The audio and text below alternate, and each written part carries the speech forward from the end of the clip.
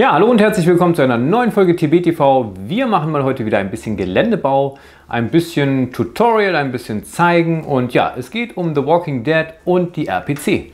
Ja, wie der eine oder andere schon gesehen hat, beim kleinen Krieger, auch die verfolgen gerade den Weg Road to RPC. Und zwar ist dort der Christian, der malt gerade fleißig die Survivor für The Walking Dead an. Und zwar äh, kurz zur Erklärung, wir werden dieses Jahr auf der RPC sein, zusammen mit dem Tabletop Club Erfurt. Ähm, wir haben da eine ganze Menge vor. Was alles wird noch nicht verraten. Auf jeden Fall wird äh, dort eine Präsentation von The Walking Dead dort sein. Und zwar ist das so eine Kooperationsgeschichte mit dem kleinen Krieger bzw. dem Tabletop Club Erfurt. Und äh, zwar bauen wir die Platte und äh, Erfurt steuert die Miniaturen bei. Ja, wir haben lange überlegt, was für ein Szenario könnte man auf der RPC anbieten. Natürlich könnte man äh, die Starterbox super verwenden, um halt die erste Staffel äh, darzustellen. Wobei äh, wir überlegt haben, Mensch, es gibt eigentlich noch viel, viel schönere Szenen, die man so darstellen könnte. Und dann haben wir überlegt, eine Autobahn vielleicht mit ganz vielen Autos, nur da hat es dann an den Autos gemangelt. Ähm, oder die Farm. Und ähm, wir haben uns im Endeffekt jetzt für Terminus entschieden. Und ähm, wir werden heute mal ähm, ja, ein weiteres Gebäude für Terminus bauen, beziehungsweise ein sehr prägnantes Gebäude für Terminus, was natürlich äh, jeder aus der Serie kennt. Und zwar dieses große Backsteingebäude, wo halt auch Terminus äh, in großen Lettern dran steht. Und das werden wir heute mal zusammen mit euch bauen. Und wir werden euch so ja, die Platte im Allgemeinen mal ein bisschen zeigen, was wir uns gedacht haben und äh, ja, welches Szenario wir darauf spielen möchten. Ja, für den Bau von Terminus habe ich hier jede Menge tolle Satellitenfotos bekommen. Ähm, und zwar ähm, werden wir nur einen kleinen Ausschnitt von Terminus bauen. Ich werde euch das gleich mal in der Nahaufnahme zeigen, aber ich zeige euch mal schon mal hier, das kann man vielleicht schon sehen. Das ist quasi den Ausschnitt, den wir nachbauen wollen. Wir haben auch nur 90 x 90 cm Platz. Das ist schon fast zu viel für The Walking Dead. Ähm, aber wir müssen das dann in einem Testszenario einfach nochmal testen, ob das funktioniert. Und ja, wir haben uns ein besonderes Szenario ausgedacht und ja, dazu kommen wir jetzt gleich. Und zwar geht es um die Szene, wer die Serie kennt. Ähm, Rick hängt mit drei Leuten, drei weiteren Überlebenden ähm, über dieser Rinne, über dieser Stahlrinne, wo nacheinander äh, den Leuten der Kopf eingeschlagen wird und dann äh, die äh, ja, Halsschlagader aufgeschnitten wird. Und ähm, wir ähm, orientieren uns an dieser Szene. Dort sind vier Charaktere, die diesen Raum verlassen müssen. Und ähm, ja, es gibt dann einen Weg oder es gibt zwei verschiedene Routen auf dieser äh, Karte, den sie wählen können. Natürlich sind ähm, in, im Innenhof schon die Zombies drin, weil natürlich es gab eine Explosion und äh, dadurch sind die Zombies mit in Terminus reingeraten. Das heißt, wir haben in diesem Innenhof schon jede Menge Zombies stehen und wir haben in den üblichen äh, übrigen Räumlichkeiten haben wir noch weitere Überlebenden aus Terminus, die natürlich äh, den äh, Abzug verhindern wollen. Und wir haben im Innenhof, das müssen wir jetzt ein bisschen spielerisch, ein bisschen, ja, müssen wir ein bisschen ummodeln. Ähm, wir haben einen Container, wo natürlich die anderen Überlebenden von Rick drin sind. Der steht aber normalerweise nicht im Innenhof, sondern ähm, ja, weiter weg. Aber wir müssen es spielerisch einfach so machen, dass dieser Container im Innenhof steht. Das heißt, das Szenario ist, Rick und seine drei Kompagnonen müssen aus diesem Raum, aus dieser Regenrinne entkommen und äh, müssen die Überlebenden befreien und aus Terminus entkommen. Kommen wir nun zum Bau der Platte. Ich habe hier schon mal angefangen und zwar haben wir ein Paket äh, aus Nottingham bekommen und zwar von Mantic Games persönlich. Die haben uns äh, schon mal Bauteile zur Verfügung gestellt und zwar geht es dort um ähm, ja, die Gebäudeteile von Mars Attacks ähm, und auch von Dead Zone oder von Warpath, also von diesem System. Dort hat man uns jede Menge Bauteile geschickt und der Mensch versucht mal da was draus zu bauen. Das hilft natürlich super, weil nämlich die Optik dieses rote Backsteingebäude, ähm, das passt sehr, sehr gut und das zeige ich euch gleich mal noch in der Nahaufnahme. Da konnten wir jetzt schon einiges draus basteln. Ähm, es gab auch schon ein bisschen Inneneinrichtung mit dazu, ein Förderband, Generatoren, das ist das, was auf jeden Fall mit verbaut wird. Dieses große, prägnante Gebäude, dieses hier, das werden wir jetzt gleich bauen. Ähm, da müssen wir mal gucken, wie wir es bauen. Natürlich aus Styrodur. Vielleicht nehmen wir vorgefertigte, äh, geprägte Platten von Gerard. Vielleicht ritzen wir selber. Das müssen wir uns gleich mal in Ruhe angucken. Ähm, und ansonsten wird diese Platte natürlich ähm, dann von ganz vielen kleinen Details leben. Ähm, jetzt sieht es noch sehr unspektakulär aus. Ähm, aber ich hoffe, dass sobald äh, ja, das Grobe drauf ist und äh, die Grundierung abgeschlossen ist, hoffe ich, dass es einfach schick aussieht. Und ähm, ja, ich würde sagen, wir zeigen euch einfach jetzt mal eine Nahansicht. Ja, wie gesagt, wir haben also diese Szene, die wir äh, nachbauen wollen. Wir haben jetzt quasi diesen hinteren Teil schon mit diesen Gebäudeelementen äh, angefangen zu bauen. Das ist natürlich auch hier müssen wir wegen der Größe natürlich, die sind natürlich viel länger und wir gehen einfach mal davon aus, dass die nach hinten noch auslaufen. Äh, aber wir, ist es wichtig, wir brauchen nur diese Teile, das ist schon ganz gut. Das heißt, auch hier müssen wir ein bisschen abkürzen. Ähm, hier haben wir diesen Komplex, das ist dieses Stückchen hier. Ähm, es fehlen hier natürlich noch die ganzen Dächer. Hier werden wir noch äh, Spitz, so kleine Spitzdächer draufsetzen. Das wird aber ein Element sein, was wir dann äh, zum Schluss auf einmal so abheben können, weil ja, es wird natürlich innen drin bespielbar sein müssen. Ähm, das wird der Innenhof. Und hier werden wir auch noch diese Gebäude hier, auch die müssen wir natürlich verkürzt auf die Platte bringen, aber das reicht uns für das Testspiel oder die Demospiele, das reicht uns völlig aus. Das heißt, wir müssen hier weiter lang gehen und hier vorne, da haben wir diesen riesen Klopper am Gebäude. Das wird quasi ja, die, ja, ein Dreiviertel des vorderen Moduls auf jeden Fall ausfüllen. Ja, äh, ich werde mir jetzt meine Bastelutensilien zusammensuchen und dann ja, bauen wir diesen riesen Gebäudekomplex. Ja, wie beginnen wir nun mit diesem Gebäude? Also ich habe mich dafür entschieden, es nicht selbst zu prägen. Das wäre, glaube ich, bei dieser Größe des Gebäudes einfach, pff, das wäre einfach viel zu viel. Das würde sehr viel Zeit kosten, aber wir haben natürlich Prägeplatten von Gerat hier. Und äh, ich habe mich für dieses kleine Backsteinmuster entschieden. Ähm, das gibt es in zwei verschiedenen Größen. Die kleine Variante ist, glaube ich, sehr, sehr gut. Die ist zwar immer noch größer wie die Mentic-Struktur, aber ich glaube, das ist, äh, macht in dem Fall jetzt keinen Unterschied. Ähm, das nimmt uns natürlich sehr, sehr viel Arbeit ab. Wir werden ähm, einen kleinen Streifen benötigen für den Vorbau und wir werden zwei Streifen benötigen für das Hauptgebäude. Das ist natürlich ein sehr, sehr großes Gebäude. Ähm, ich werde das jetzt noch um 5 cm einkürzen, weil es ein bisschen zu groß ist. Dann haben wir noch weitere Strukturplatten in einem anderen Format. Das ist genau das gleiche Kopfsteinpflaster, allerdings ist es äh, im Hochformat. Das werden wir dann an die Seiten aufbringen. Und dadurch, dass das extrem lang ist, ähm, ja, verliert es natürlich an Stabilität. Das heißt, wir müssen ähm, die Wände auch noch verstärken. Das heißt, wir nehmen uns ganz normales Styrodur. Ich werde hier Depron nutzen und werde dann ähm, die Mauern noch verstärken. Und das Einzige, was wir dann hier machen müssen, ist dann ähm, Fenster ausschneiden, Tore, Türen, und es muss noch ein bisschen, ähm, ja, da sind noch ein paar Ziersockel und Leisten. Auch die werden wir dann separat ähm, basteln und dann aufkleben. Ja, ich bin sehr gespannt, wie das Ganze funktioniert. Und wir beginnen jetzt erstmal mit den ganzen Zuschnitten und dem Verstärken der Platten.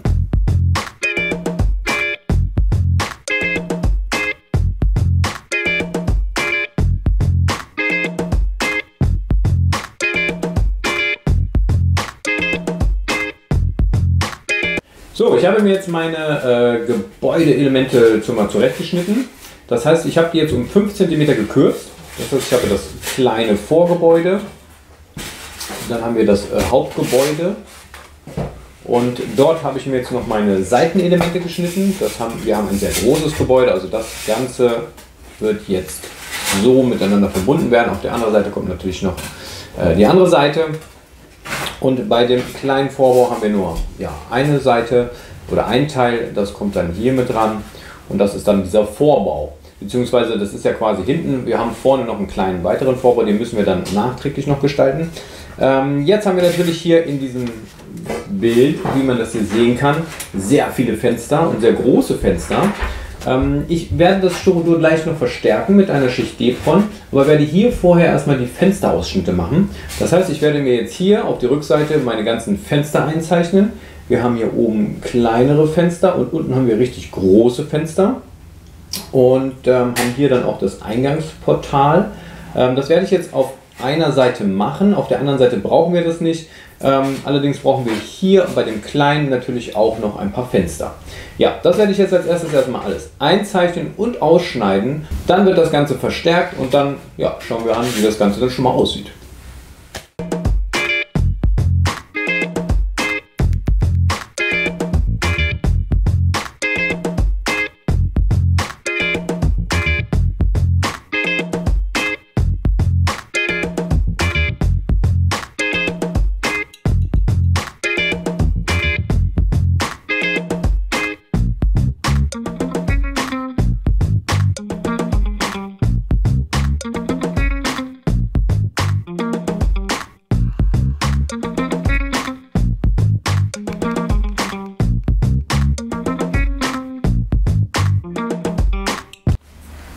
So, ich habe jetzt die ganzen Fensterausschnitte gemacht, habe die Mauern noch verstärkt. Also es sieht jetzt erstmal natürlich noch ein bisschen roh aus. Wir haben hier quasi die äh, äh Struktur ähm, Styrodur auf ein Blanko Styrodur nochmal geklebt. Hier kommen aber sowieso jede Menge Rollläden später noch rein. Das heißt, das ist komplett verdeckt. Hier haben wir natürlich im Innenbereich natürlich eine Blankowand. Ähm, damit müssen wir einfach leben. Wir könnten das jetzt auch nochmal alles ausschneiden und von innen ähm, auskleiden, aber wir wollen es ja nicht übertreiben. Wichtig ist, dass es einfach so einen Gesamteindruck gibt. Ähm, das habe ich jetzt mit allen Seitenteilen auch gemacht. Das heißt, es passt dann hier auch genau ran. Das werden wir jetzt gleich auf die Platte verkleben. Und wir haben natürlich den ersten Vorbau auch bereits fertig. Auch hier sind die Fensterausschnitte gemacht und das wird komplett mit solchen Rollläden äh, zugemacht. Die Rollläden machen wir dann später aus äh, Wellpappe. Und hier habe ich noch eine Tür reinge äh, einen Türausschnitt gemacht, wo wir dann eine äh, Resintür von Tomarillion verwenden. Die wird dann hiermit angepasst. Ähm, Im Originalbild haben wir hier allerdings keine Tür. Ähm, beziehungsweise es könnte sein, dass hier noch ein Rolltor ist. Das kann man nicht so richtig gut erkennen. Aufgrund der Spielbarkeit müssen wir das dann einfach äh, so lassen. Und ähm, ja, ich würde sagen, wir kleben jetzt das Ganze mal auf die Platte fest.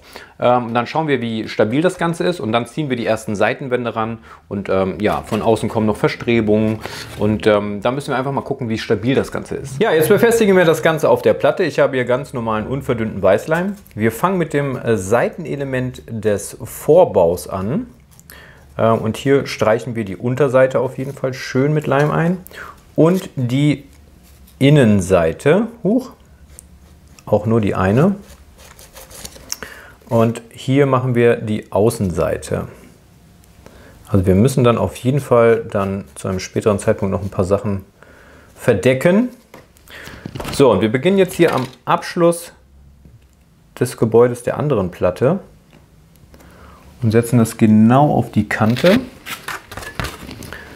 Dann nehmen wir uns das große Stück, auch hier die komplette Unterseite,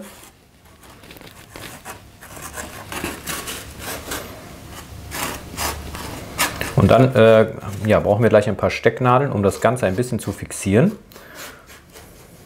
So, da haben wir es innen. Wir können hier auch gerne noch mal auch noch was drauf schmieren. Und jetzt müssen wir es genau auf Kante setzen. Und wir nehmen uns jetzt hier mal ein paar Stecknadeln und fixieren die beiden Platten auf jeden Fall schon mal miteinander so dass die nicht mehr verrutschen können. Dann machen wir auf der anderen Seite weiter. Auch hier wieder die Innenseite. Und hier die Außenkante. So, das ist echt ein riesiges Gebäude. Also es ist wirklich so eine riesige Halle. Das fixieren wir gleich noch mit Nadeln. Und jetzt kommen wir zu dem ersten richtig großen Teil. Äh, ich habe mich jetzt für eine weiße Front entschieden, weil hier haben wir keinen Backstein mehr, sondern wir haben hier eine Betonoberfläche. Das heißt, wir nutzen auch die Struktur, die auf dem Depron drauf ist. Und ähm, ja, im, im Originalbild könnte das Metall sein, es könnte Beton sein. Das kann man jetzt hier nicht so direkt erahnen. Das kommt jetzt quasi so davor. Das heißt, ich werde jetzt sämtliche Teile erstmal noch auf die Platte leimen und ähm, ja, dann werden wir mal weiter schauen, wie wir weiter vorgehen. Ja, was für ein Monster. Es ist echt ein Riesengebäude. Ähm, ich habe jetzt alle Teile auf ähm, der Platte fixiert, habe überall Stecknadeln reingesteckt, damit das auch nicht äh, mehr sich jetzt verrutschen kann. Jetzt müssen wir warten, bis der Kleber trocken ist. Es ist natürlich noch ähm, ja, sehr instabil, das Ganze. Ähm, dadurch, dass das aber eine große Lagerhalle ist, können wir hier auch gar nicht mehr mit so viel Zwischenräumen arbeiten. Das heißt, wir werden jetzt hier vielleicht noch eine Trennwand hier vielleicht noch reinsetzen, vielleicht noch eine. Hier in dem Bereich können wir auch noch mal auf jeden Fall zwei setzen und ähm, machen dann äh, no, ein paar Türausschnitte oder setzen Türen einfach vor. Ähm, diese Zwischen äh, Zwischenwände werden noch ein bisschen Stabilität einfach bringen. Ansonsten ja, hoffe ich einfach, ähm, dass es den Transport auf jeden Fall nach Köln überlebt. Ja, was kommt als nächstes? Also ähm, ich mache jetzt die Trennwände und wir brauchen diese, wir haben hier diese typischen ja, das sind so, so Vorbauten, die werden wir jetzt, so Pfeiler, die werden wir jetzt hier noch, ähm, ja, wie werde ich jetzt mit dem Styrocutter ausschneiden und dann äh, werden wir die davor kleben. Und dann haben wir noch vor den Fenstern ähm, ja so Verzierungen. Auch da werde ich jetzt äh, Streifen mit dem Cutter schneiden. Und ähm, ja, das werde ich jetzt erstmal machen. Und dann sehen wir uns äh, gleich dann wieder, sobald wie, äh, ich die ganzen Sachen ausgeschnitten habe. Und dann können wir das alles ans äh, Gebäude ranpappen. Und ähm, vielleicht haben wir bis dahin auch schon die Fensterrollläden fertig. So, inzwischen werden die äh, Rollläden für die Fenster beschnippelt. Wir nutzen dazu einfach ganz normale Wellpappe. Die kriegt ihr in jedem Bastelgeschäft bzw. Äh, Schreibwarenladen. Äh, in der Zwischenzeit habe ich die Eckpfeiler hier geschnitten und habe sie vorgeklebt. Und äh, noch so kleine Zierleisten für die Fenster aus Styrodur geklebt. Ähm, jetzt als nächsten Schritt brauchen wir noch weitere Zierleisten für die großen Fenster. Die werde ich jetzt ebenfalls aus, äh, ja, das ist ähm, tatsächlich der Rest von, äh, dem, der Dämm, von dem Dämmmaterial vom Fußboden, weil die einfach schon recht dünn ist. Äh, und in so kleinen Abschnitten kann man die super ge gebrauchen, weil sie dann auch einfach nicht bricht. Ja, als nächstes kommen jetzt also noch die Zierleisten für die großen Fenster dran. Und dann kümmern wir uns um die Zwischenwände bzw. Trennwände.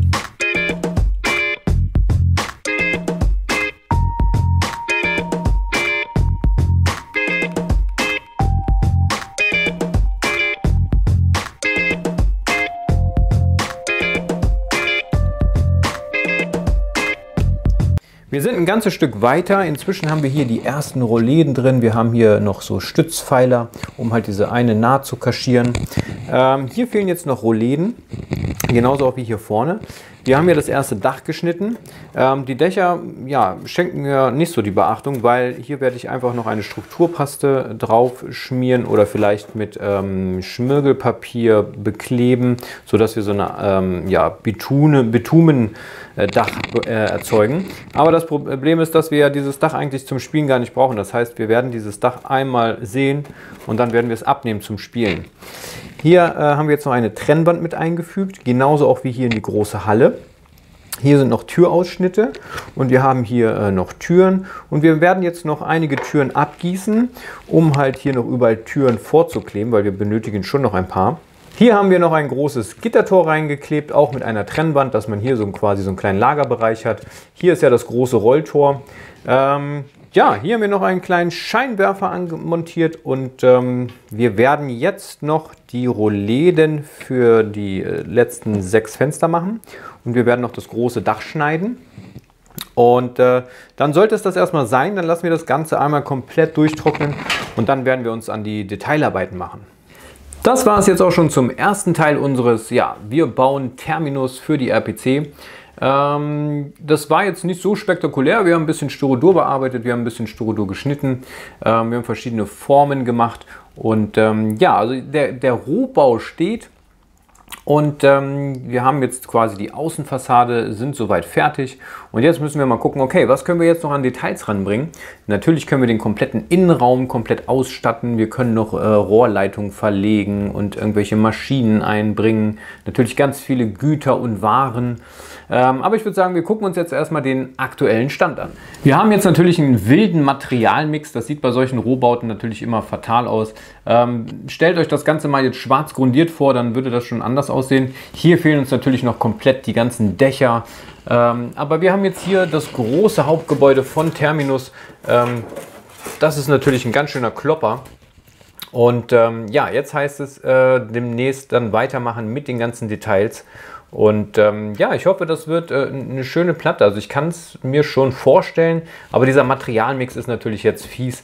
Äh, verschiedenfarbiges Styrodur, wir haben hier Plastikteile grau und äh, braun und ähm, das sieht natürlich sehr, sehr wild aus.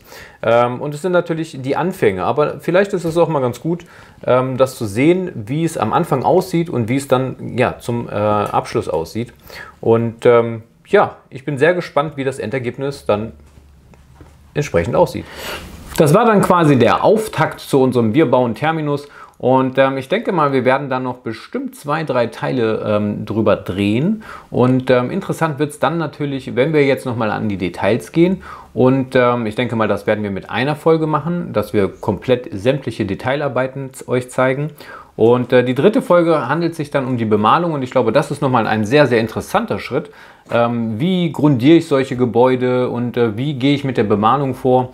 Und dann müssen wir natürlich noch entsprechende Effekte setzen, weil dieses ganze Fabrikgelände ist natürlich extrem ähm, verwittert. Das heißt, da müssen wir richtig Rost und Schmutz und Dreck aufbringen. Und äh, da freue ich mich natürlich am meisten drauf. Ähm, ich mag es extrem dreckig und ähm, ja, das war es zum Auftakt. Wir bauen Terminus. Ähm, ich hoffe, ihr konntet ein bisschen was mitnehmen. Ansonsten, wenn ihr Fragen habt, schreibt es in die Kommentare. Oder wenn ihr vielleicht noch Ideen habt, was hier noch mit äh, ja, draufgebracht werden kann, schreibt es uns. Und äh, wir sehen uns dann zum zweiten Teil in den kommenden Tagen. Bis dahin, habt ein schönes Wochenende. Tschüss.